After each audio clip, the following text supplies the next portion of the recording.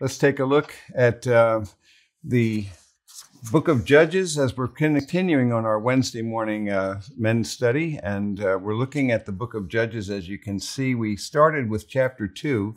We're just skipping through again, since this is based upon the 365 key chapters of the Bible.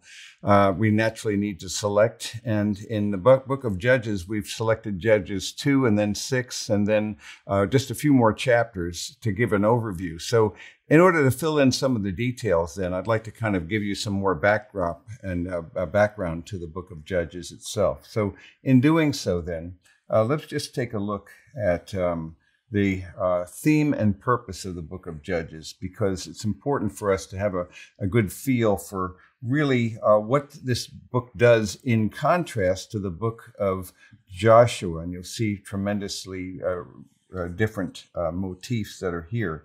Uh, what it's seeking to do, of course, is to carry the storyline of Israel from the death of Joshua to the time of Samuel and then to the beginning of the United Kingdom. And so it was written uh, during the reign of Saul, who reigned from 1043 uh, to 1011 BC, or during the uh, first seven years of, um, of David's reign, who reigned in that in that in that period of time those first four years the first seven years 10 11 to 10 uh, 04 and it gives an explanation uh, and um, a defense of israel's monarchy and the whole concept of the nation needing to being be, needing to be united under a righteous king. And so it really provides that point of view or that perspective.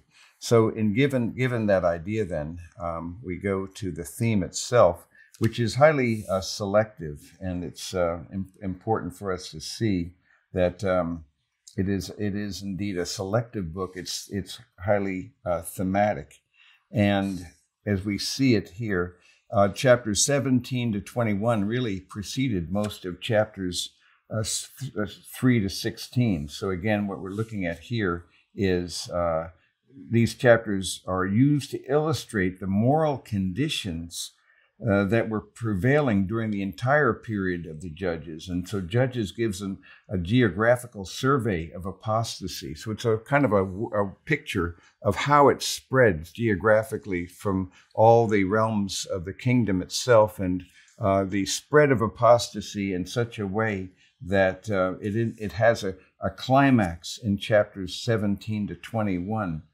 which actually uh, then has a, the last verse as a fitting uh, conclusion. In those days, there was no king in Israel. Every man did that which was right in his own eyes. So that becomes emblematic and thematic for the entire book of Judges, then, as we move from there.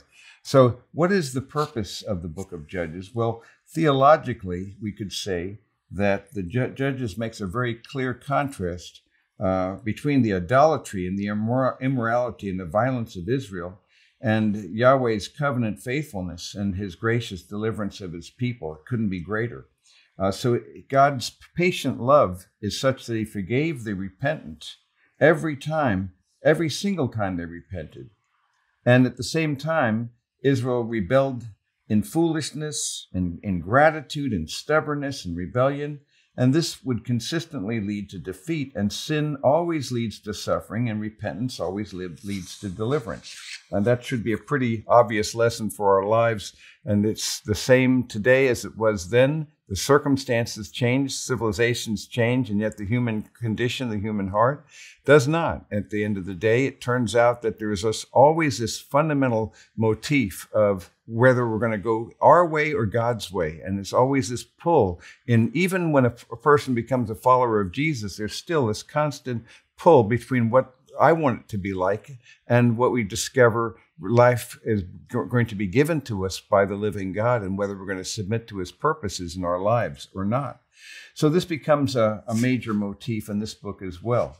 Some of the keys uh, to the book of Judges include the, this keyword cycles, and it's a very critical uh, term because uh, then the anger of the Lord was uh, hot against Israel, and he said, Because this nation has transgressed my covenant, which I commanded their fathers, and has not heeded my voice, he goes on to say, I also will no longer drive out before them any of the nations which Joshua left when he died. And so there's this whole cyclical process, as we'll see again. Um, this this fitting summary of the book of Judges. Again, no king. Everyone did what was right in his own eyes. And so this idea of a cyclical process, as we can see, becomes a, a serious uh, issue. And uh, Judge and and chapter two really becomes a miniature of the entire book because it records the transition of the godly to the ungodly generation. And it, it, it also provides the format of the cycles as well as the purpose of God in not actually destroying the Canaanites. And one of the things that we, that we see concerning these cycles in the book of Judges, and I'm going to jump ahead to that in just a moment here, is what we can see is this whole theme uh, we've observed before in our first time when we saw this process that sin, which was always some variation of idolatry, would always lead inevitably to servitude. And for a period of time, often many years, they would then serve. Um, because of that, uh, the God would raise up, raise up another nation because of the rebellion against him, and they'd have to serve that king or that nation for a period of time until finally they would make their supplication to God. And once having made their cry uh, to, of, uh, and plea for mercy to God, then he would quickly provide salvation in the form of a judge. And then, as a result of that, there would be a peace, a, a time of rest or peace or silence in the land until the next cycle would repeat. So you have sin, servitude, supplication, salvation, and silence repeating itself. And there's seven cycles of this. Uh, if you another way of using it is with ours, you could have rebellion followed by retribution of God, and then repentance uh, by the people, and then after the repentance, He would provide restoration, and after the restoration, there'd be a period of rest, in which case the process would then continue again. So there was this ongoing process. So going re- returning back to this idea, the interesting thing is that they often served for multiple years. And it's a fascinating thing how, after their sin, they would serve and hang here and almost like just hover here again and again in this process until they'd finally cry out to God when it became so bad it was like, has it come to this that we have to pray?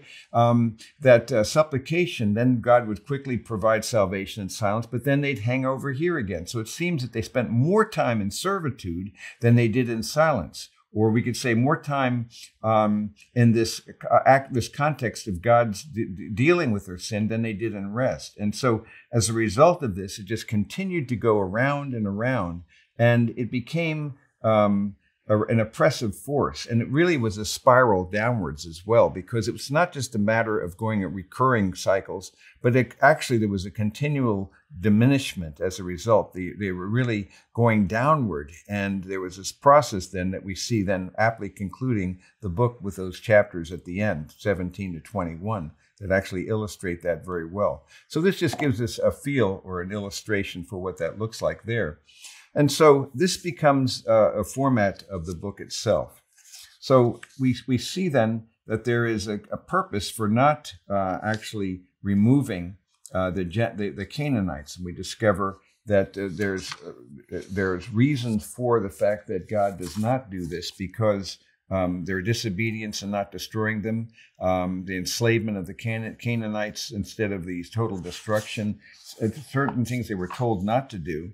And so God then uh, actually has a purpose then in doing so to punish them for their disobedience, to test and prove that uh, the Israelites as to whether they would obey God or not, and to drive out the Canaanites and separate them uh, and their gods, and to, to, instruct the new generation in warfare for future defense needs. So there's a lot of uh, components that are going on at the same time with this material. Um, we continue then its contribution to the Bible. And uh, Judges really does record um, the failure of the theocracy due to the lack of faith and obedience. And so the problem wasn't the rule of God, the problem was the disobedience of man. And as a consequence of that, then, they did not want to obey God, and ultimately they would cry out for a visible king instead, and ultimately would go after the time of judges to a time of the monarchy. So thus, in this very real way, then they were disloyal to their uh, to their uh, divine king, and as a consequence, uh, they wanted to have some kind of an earthly king. And so we have this interesting contrast here between the book of Joshua and the book of Judges, because Joshua describes Israel experiencing the freedom of entering uh, uh, into the promised land, while Judges records its subsequent uh, bondage in the promised land. So we go from a, pro- a geographical progress uh, in the book of Joshua to a decline geographically in Judges. In Joshua, we see Israel's conquest of the promised land through their belief in God. But then Judges records their defeat uh, because of their disbelief in God. It always comes down really to their relationship with the living God as to uh, the disposition and the well being of the people. It depended then on their response, whether they're going to trust God or not. That's the whole nation, nature of a theocratic covenant nation. That they are ultimately then, and they made their commitment as well under Joshua and before that with Moses, that this is the law and we will do it. And yet they could not keep the law. And so we consider, consider another contrast. Far be it for, that we should forsake the Lord and serve other gods, they said in Joshua 24 16. Yet it says in, in, Judges 3 7, so the children of Israel did evil in the sight of the Lord, and they forgot the Lord their God and served the Baals and the Asheroths. So again, this serious uh, contrast that takes place. So that Israel served God in Joshua, but served themselves in Judges.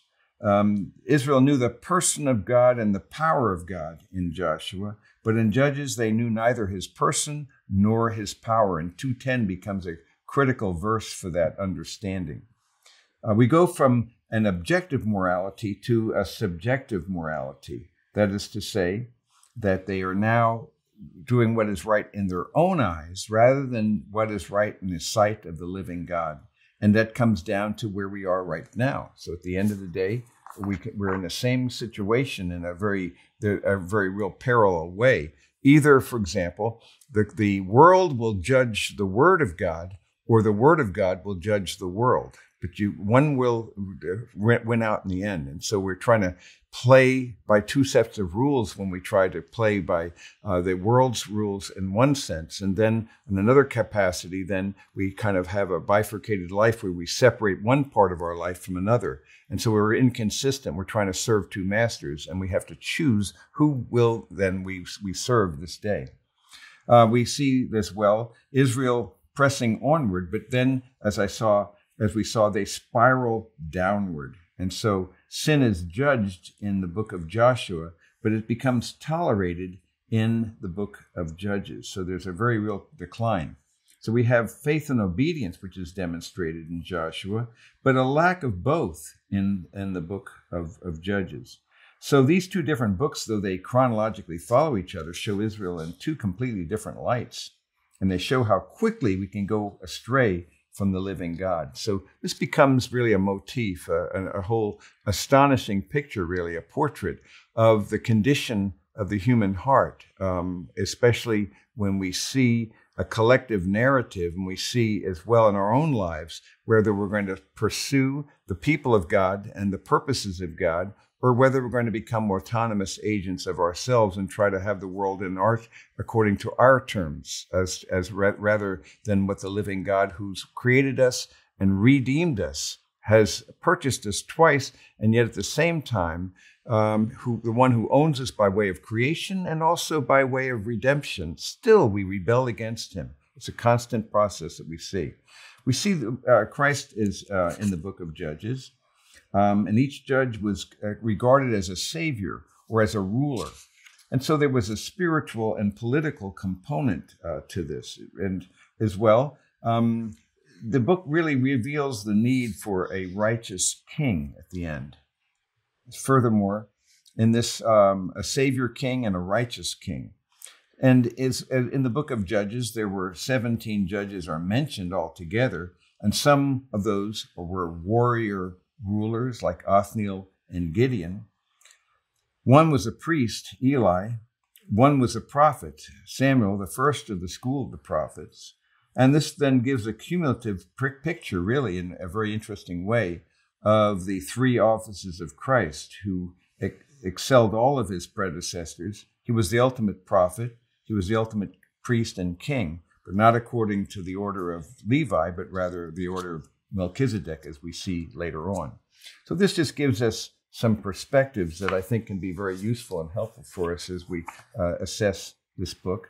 So going back to this whole process here of this cycle of the judges, let's go back to chapter two in the book of Judges, and we can see how the angel of the Lord came up and re- and there was a rebuke because of the failure to keep the covenant uh, with God, and already they were beginning to disobey God. And so, as a result of them, he said, I'm not going to drive them out. They wept. Joshua then dies, and it tells us the people served the Lord all the days of Joshua and all the days of the elders who survived Joshua, who had seen all the great work with the Lord uh, which he had done for Israel. But then it tells us in verse uh, 10 all that generation were also gathered to their fathers and then there arose another generation after them who did not know the Lord, nor yet the work which he had done for Israel. So then we see the paradigm, the pattern that we can see consistently. This is the pattern where they would do evil in the sight of the Lord, they'd serve various gods, and they would forsake God. And as a result of that, in their following them, they'd bow down because you're going to serve somebody. So they provoked the Lord to anger. They forsook God, served false deities, God then uh, gave them into the hands of plunderers who plundered them. So we have again uh, this this next the next cycle here. So the the, ser- the, servitude component there, and then it tells us as well that um, they could no longer stand, and whatever they went, the hand of the Lord was against them for evil. And then finally, it would tell us then that would, he would raise them from uh, up judges to deliver them. But they didn't listen to their judges. They played the harlot, and they did the whole thing again. So they, they re- repeat the process. So God raises up judges. The Lord was with the judge, delivered them all the days. But the Lord, because the Lord was moved uh, to pity by their groaning because of those who oppressed and afflicted them. But when the judge died, what would happen? They'd turn back and act more corruptly than their fathers, following other gods. So this is the process that you see again and again. This cycle is recurring and repeating. So we can see then um, this uh, whole idea of idolatry then leading uh, to servitude in chapter 3 as well.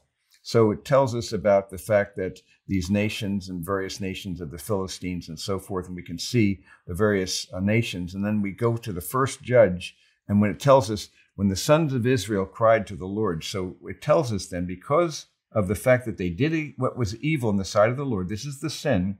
They forgot the Lord their God.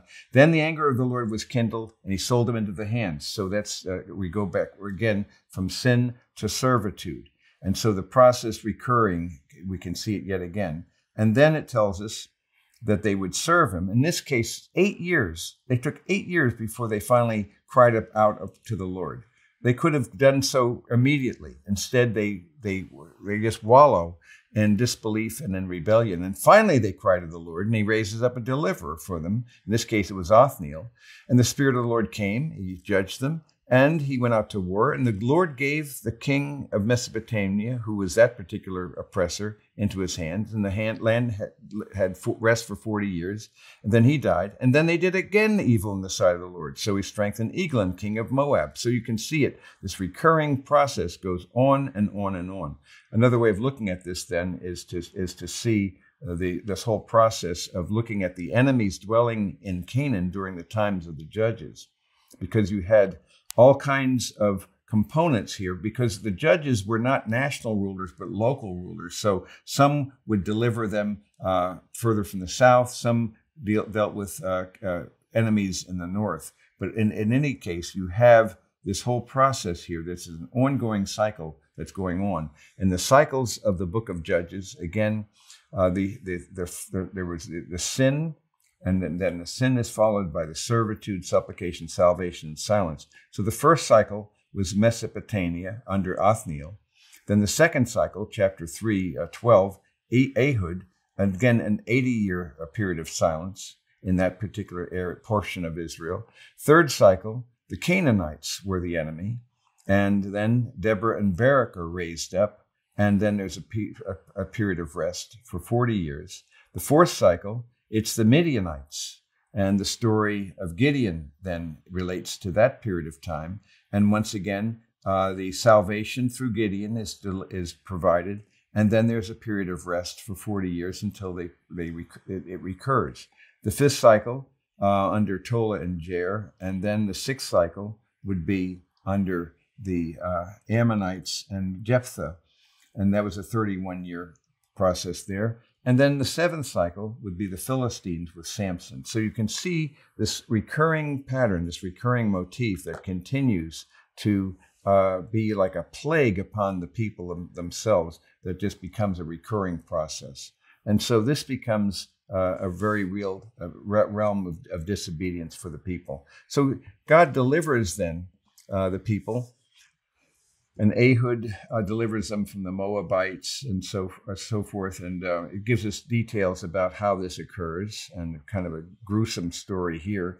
Um, and uh, then uh, he goes out. Is, uh, so then he he he does it by um, pretending to want to have a private message with the king, but then he actually kills the king, and um, he leaves them on the floor uh, dead. In fact, it's in, it's interesting because in the uh, the cool upper room is where he went. To, uh, that's where they would go to relieve themselves, and um, so they thought that he was just doing that, and so that gave Ehud a chance to escape after he plunged the sword into him.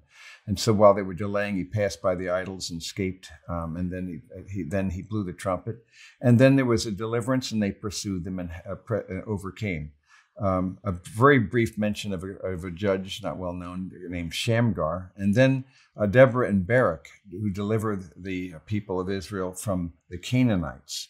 And so, again, it tells us about how, again, there was a deliverance, and the, uh, the again, the process, the repetitive process in, in, each of these cycles, after Othniel and the, and the, um, the judge, and then after the second with Ehud, then you also have this uh, next cycle with um, this this process here with uh, Deborah and Barak, and so you have uh, Deborah, who is a prophetess, and it's intriguing that um, she is uh, re- receives the word of the Lord, and then the sons of Israel come to her for judgment. So she had a clear authority, um, and then Barak is summoned, and behold, the Lord God of Israel is commanded, "Go and march to Mount Tabor."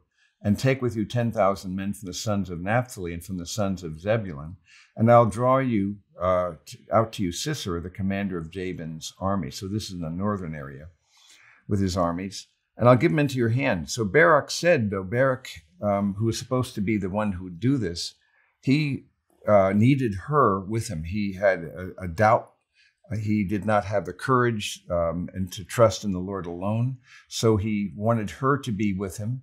She said, I will surely go with you. But then she said, Nevertheless, the honor shall not be yours on the journey that you're about to take. The Lord will sell Sisera into the hands of a woman. So then Deborah rose and went to Bar- with Barak to Kadesh. And then he calls Zebulun and Naphtali together to, to, to Kadesh, and then um, Kadesh, and then 10,000 men went with him. And then it tells us about the story about uh, Sisera um, and, the, and then how he called together his uh, chariots, 900 iron chariots, and all the people who, were with him. And this is the day in which the Lord has given Sisera into your, into your hands. So Deborah says to Barak, This is the day. He goes down from Mount Tabor with 10,000 men following him. And the Lord routed Sisera and his chariots and all his army with the edge of the sword before Barak. But then Sisera tells us, alighted from his chariot and fled away. And just as, as Deborah predicted, it would not be Barak who would have that full victory, but actually it would be a, uh, someone else. It would be a woman, and Jael, her name, the wife of Heber the Kenite, for there was peace between Jabin, the king of Hazor, and the house of Heber the uh, Kenite. So uh, Jael went out to meet Sisera, and she actually brought him in and uh, gives them, um, takes him in and gives him something to drink. But then she actually uh, kills him with by taking a tent peg and seizing a hammer and went secretly to him when he was asleep and he was exhausted and he died. So Barak pursued Sisera, and then Jael came out to meet him and said, Come, I will show you the man whom you're seeking. So just as Deborah had predicted, so it was the case. He entered with her, and Sisera was lying dead. So God subdued on that day Jabin, the king of Canaan, before the sons of Israel. the hands of the sons of Israel pressed heavier and heavier upon Jabin, the king of Canaan, until they had destroyed him. So, this gives us uh, a certain perspective about what's going on during that period of time. That you have then certain disobediences, certain components. God raises up various people, various local judges. And so there's a complex period of time here in which there is in, indeed a kind of a movement of further and further away from God, especially as a new generation is raised who really don't have a faith in the living God. And as a consequence, it becomes increasingly evident in the weakness of the people themselves. Chapter 5 is a kind of a uh, a song of uh, Deborah and Barak, and so what you have here is much more of a um, of a kind of a portrait um, in that process here of uh, a tale of the story here and their deliverances and a, a poetic uh, aspirations of what exactly took took place during this time. So there is just um, a poetic overview and the princes of Issachar and so forth, and uh, it just gives us then um, a, a, portrait of how God then defeated him. And so, mentioning Jael here, and um, she reached and she did this. And, and so, out of the window, she looks and beholds the mother of Sisera. It's kind of an interesting text here because it kind of imagines what the mother of this man who's just been killed is thinking. Why does his chariot delay in coming? Why do the hoofbeats of his chariots tarry? Terry, her wise princesses, would answer her. She repeats words to herself. Are they not finding or not dividing the spoil? Very interesting how it kind of gives us a little bit of a hint as to um, their own the the um, mindset of these uh, of these um, people who are really enemies of Israel. But um, we see at this last verse, "Let all your enemies perish, O Lord. Let those who love Him be like the rising of the sun in its might." And the land was undisturbed for 40 years. So once again, you have that, that process of the land being undisturbed, a period of silence for 40 years in that portion of the land until it would happen again and again. So in this context, then, we go to the sixth, the next cycle, the fourth cycle, in which Gideon becomes the judge. In this case, they're oppressed by Midian further south. So there's another area of Israel. Again, it says did what was evil in the sight of the Lord is so repetitive. And they served the uh, Midian seven years, and the power of Midian prevailed.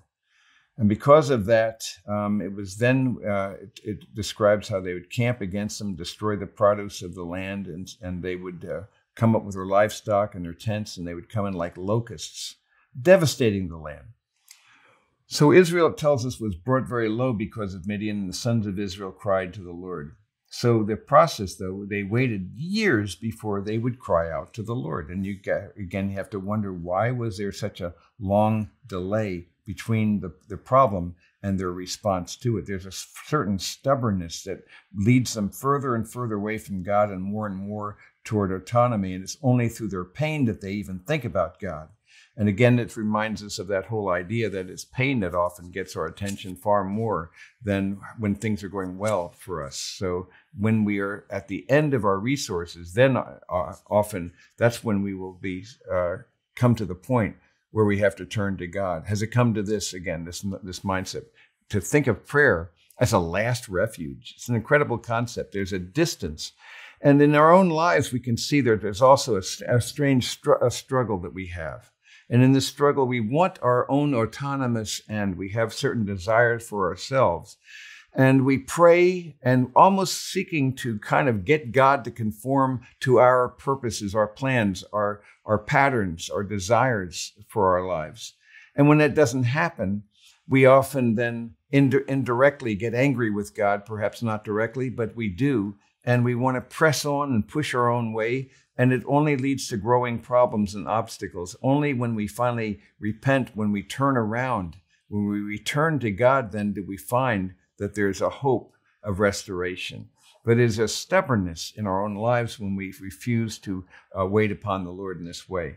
And so, in this case here, we're going to be studying more of this in a couple of weeks uh, the text about the, the Midianites and what takes place here.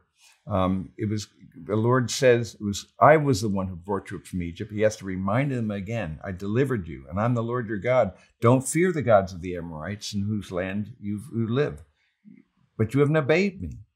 So the angel of the Lord comes and sits um, and uh, and meets with um, Gideon, and the angel of the Lord appears to him and said, "The Lord's with you, O valiant warrior." And he says, "Are you talking to me?" So my Lord, if the Lord is with us, why does this happen? And the answer is obvious why it happened. The, scriptures make it clear because of the rebellion against him. But now it says the Lord, he's so actually saying the Lord has abandoned us, a wrong point of view. No, actually, this is because they abandoned him. So the real question then is, um, how am I going to deliver Israel? He says, My family is the least. The Lord said, I will surely be with you. You will defeat Midian as one man. So Gideon said to him, If now I have found favor in your sight, show me a sign. Gideon wanted his signs. We'll see that uh, as a motif in his life. Um, I'm going to bring out my offering, lay it before you, and, I'm, and I'll remain until you return. So he prepared a young goat, unleavened bread, brought them out. The angel of the Lord said, Take the meat and the unleavened bread, lay them on the rock. And so the angel put the end of his staff that was in his hand, touched the meat and the unleavened bread. The fire sprang up from the rock, consumed it and the unleavened bread. And then the angel of the Lord vanished. When he saw it was the angel of the Lord, he says, Alas, O Lord God, for now I've seen the angel of the Lord face to face. But the Lord then uh, spoke to him. Uh, and how he did this, whether it doesn't say it was the angel, but he, the Lord said, Peace to you, do not fear, you shall not die. Gideon built an offer there to the Lord and named it The Lord is Peace. And so on the same night, the Lord said, Now take your father's bull, a second bull, seven years old, Pull down the altar of Baal, which belongs to your father. Cut down the Asherah, which is, uh, again, Canaanite deities. And build an altar to the Lord your God on top of this stronghold in an orderly manner. Take the second bull and offer a burnt offering. So he took ten men of his servants and did as the Lord commanded him. Of course, this was a great offense because the altar of Baal was destroyed. So they were angry with him. The, uh, the Baal was torn down, the Asherah, and the second bull was offered. They said, Who's done this thing? And so they searched about and found out that, that it was, in fact, Gideon. And so they brought, they wanted him to then be destroyed because of this. And again, Joash said to all, You're going to contend for Baal? You're going to deliver him? Who's going to plead for him and be, he'll be put to death by morning? If he's a God, let him contend for himself because someone has torn down his altar. So really, uh, let Baal contend. And they named him Jerubbaal, Jerubbabel, uh, because you have the idea of uh, let Baal contend. So the as they assembled themselves, and it was an enormous number, an enormous opposition.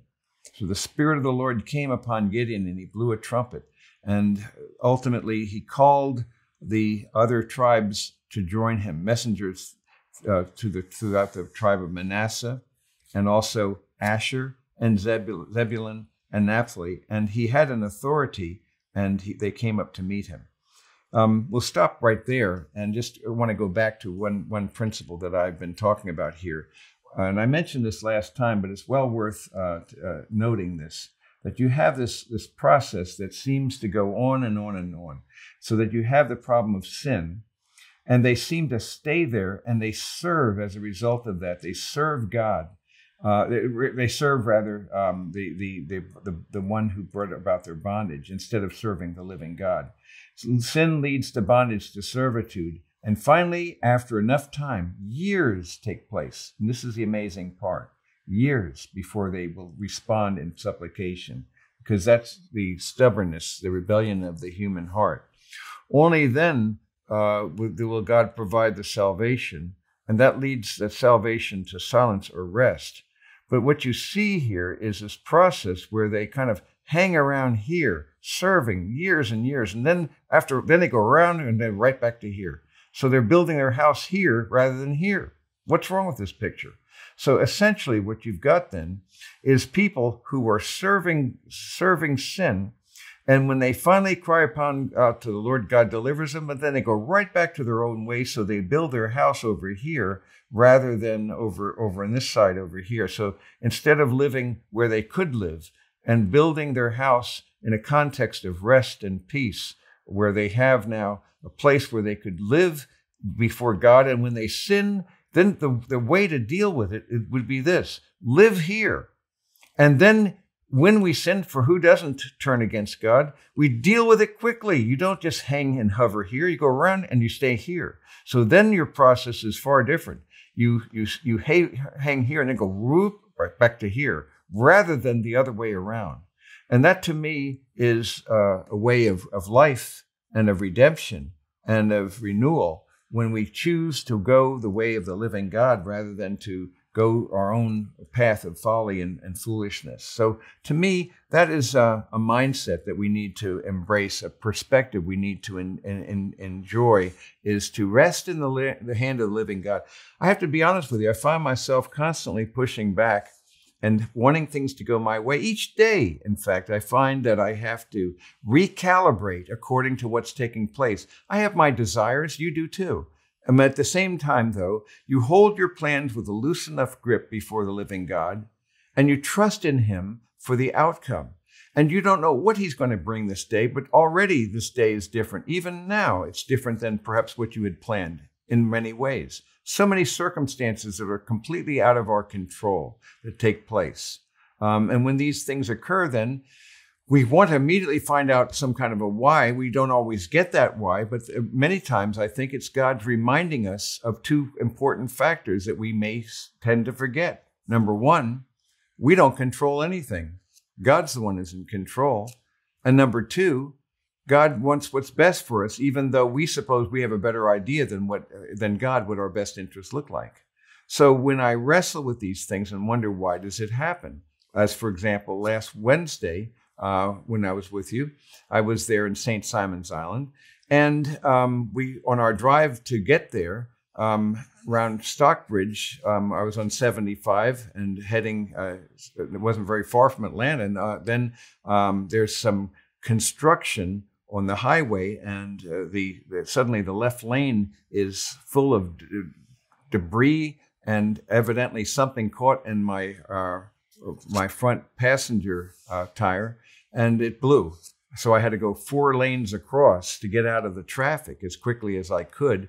And the net effect, instead of getting there at 4:30 in the afternoon, I ended up getting to St. Simon's Island at 9:30.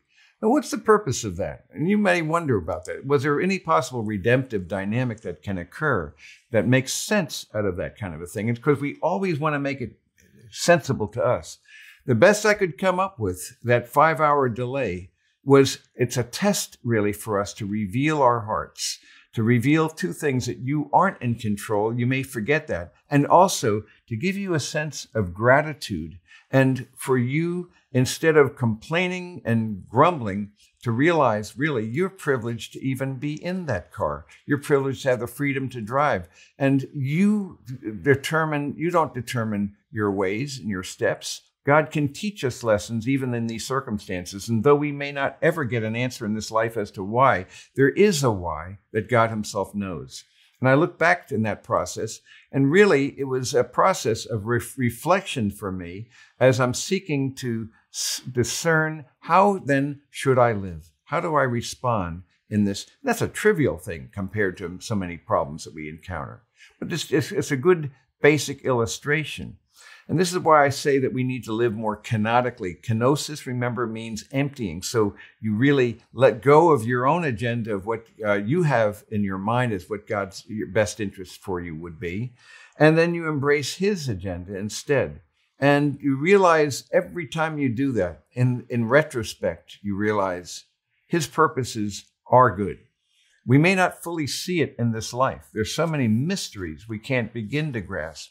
But we begin to discover that God's promises are good and that ultimately we trust in Him in spite of circumstances to the contrary. And we cry out to Him rather than spending our time in servitude to a rebellious, angry spirit, to unforgiveness, to bitterness, to anger, to wrath, to things that are unbecoming. And instead, we set our minds on the things above. It's as is the text, of course, uh, that comes to my mind is Philippians. When we think about Philippians chapter four, and particularly verses uh, six and following, where it tells us to be anxious for nothing, but in everything by prayer and supplication with thanksgiving, let your requests be made known to God. In other words, don't wait and succumb to the, the sin of anxiety, of fear, of anger, of wrath, of unforgiveness, any number of things that can pull us down and cause us to live in that realm of servitude. But instead, make your supplication to Him. That's what He says. In everything, by prayer and supplication. Then He says another word for prayer is thanksgiving. So He says, in everything by prayer, supplication with thanksgiving. Then a fourth word for prayer is requests. Make them known to God. And then it tells us that a supernatural thing will occur when you do this, that God's peace, and it surpasses all comprehension. It'll guard or garrison, it'll protect your hearts and your minds in Christ Jesus. So then we have to make our, our decision. So when I'm hanging around in that in that tire store, and there's nothing I can do about it because after all, I realize that I can't. Uh, I'd like to buy the tire and put it on, but I don't have a, a, a, machine to take it off the rim and put it on. So I'm stuck there, and it, it added all that time. What should I do during that time? I've got an option. I can either fume and fuss and fret, or I can actually then return to God and say, let me use this time wisely. Let me consider his ways. Let me be grateful. Let me be dependent upon him and leave the outcome in his hands because I don't know what my best interests look like. Indeed, verse 8 follows. Finally, brethren, whatever is true, whatever is lovely, whatever is pure, um, uh, right, whatever is pure, lovely, good repute, excellence, worthy of praise, any of these things and this is not where we typically turn to. We t- often turn to what's not true and what's not honorable, what's not right, what's not what's impure, what's ugly, and it's called the news.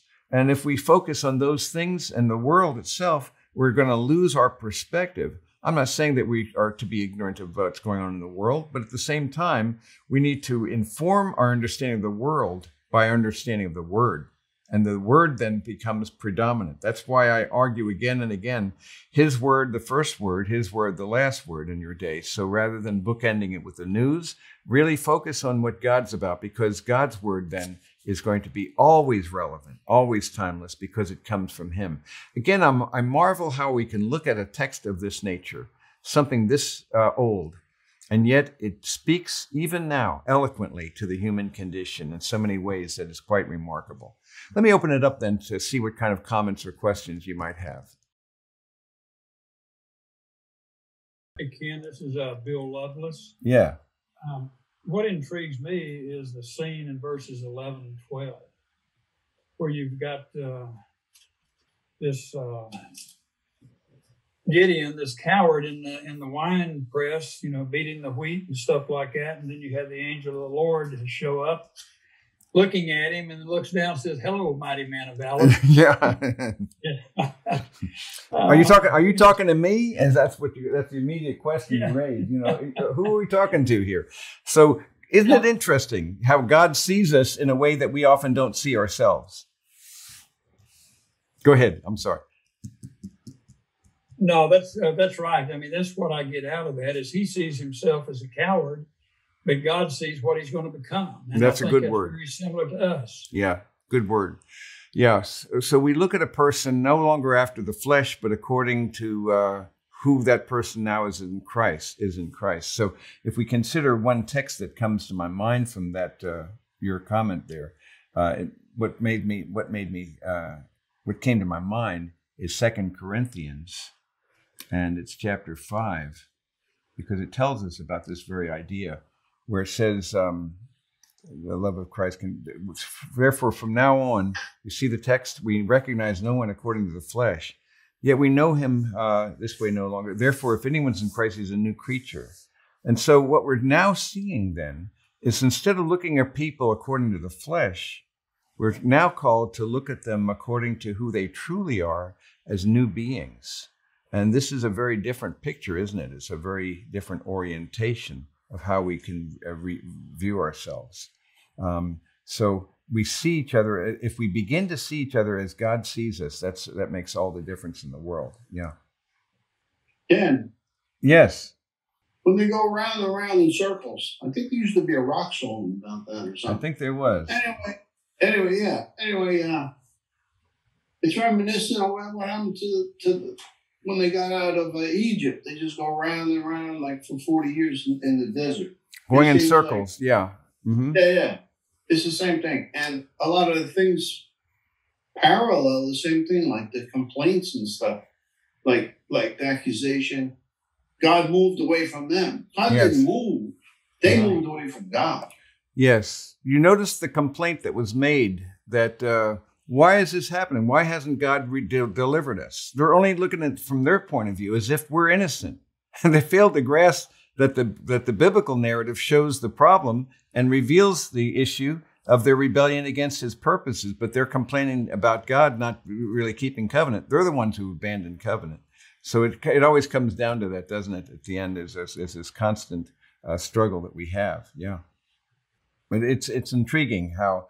So my desire for all of us is that we would train ourselves and learn to really live in a certain way that uh, causes us to see uh, our true destiny and our true meaning and our true purpose. It comes down to this thing that I so often have shown you: this whole idea of who you really are. Grasp who you are, and don't don't look at it as from the outstanding outside perspective. Look at what the Word tells you you are, and then this tells you you are a person who is, in fact, um, before the living God. You have a purpose and a calling. You have a position, and you want to practice that out. You want to live that out accordingly. So it's a it's a point of view or a perspective we need to embrace. What other thoughts do Yeah. you, you have? Yeah. uh, a man plans his ways, but the Lord directs his steps. You know, it may be totally different than what you plan. Yeah, that's yeah. Very often that's the case, and we realize that. Yeah, there's this constant. I find myself every day. I've got to train myself to um, see things through God's word, through the lens of His word, rather than through the world itself that's trying to define me. So there's this. But every day we're going to be wrestling with this. What does my best interest look like? I have my plans. I'd like it to be this way. I pray about that, but I have to recognize the difference. Remember between hoping for and hoping into. I hope for certain things, but I can't. I must only hope in God. But so often, though, God has to uh, allow us to go into this this degradation until we finally come to the end of ourselves and then look up. And sometimes the only place we have is to look up.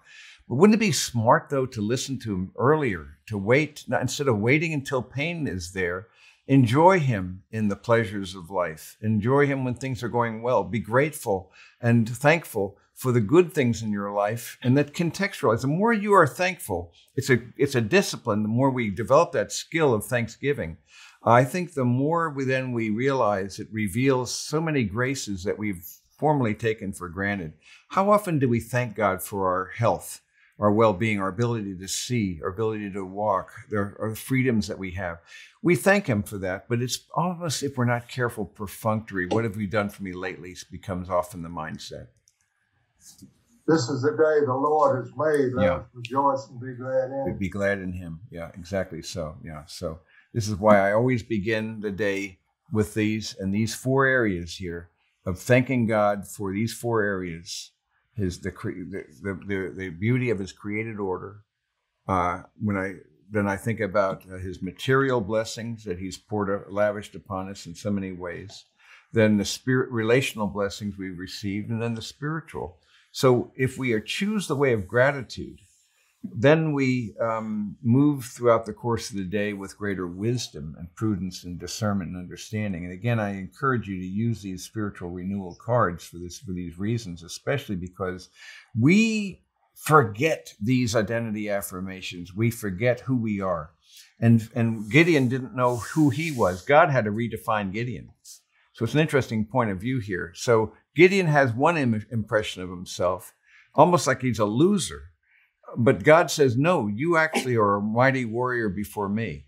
But you must walk in my strength and my energy and my power and my resources, or you will not be able to prevail. So it comes down to that. Here is who you are. Now live it. And this is why I, I, I speak about here is who you are. Who are you? You're a child of God.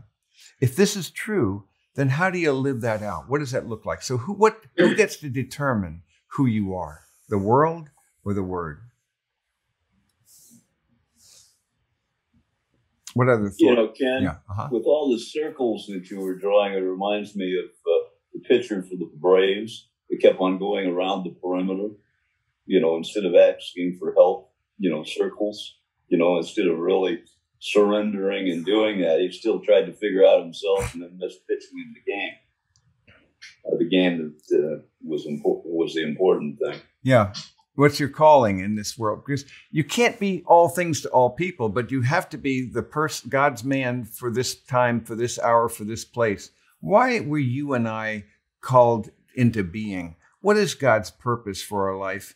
And unless we really immerse ourselves in the truth of the word, unless we have a community of people where we mutually re, uh, uh, encourage and, and uh, empower, um, enhancing each other's lives, we can lose ourselves very quickly, get all wrapped up into false gods again. And so it may not be the, the gods of the Amorites and the Canaanites, but it be the gods of this world and the, the things that people bow down to and exchange their lives for. So we have to decide who is really the Lord, who is the Lord of our lives. And sometimes they will root things out in painful ways to get our attention and to force us to realize that only there can I thrive and survive.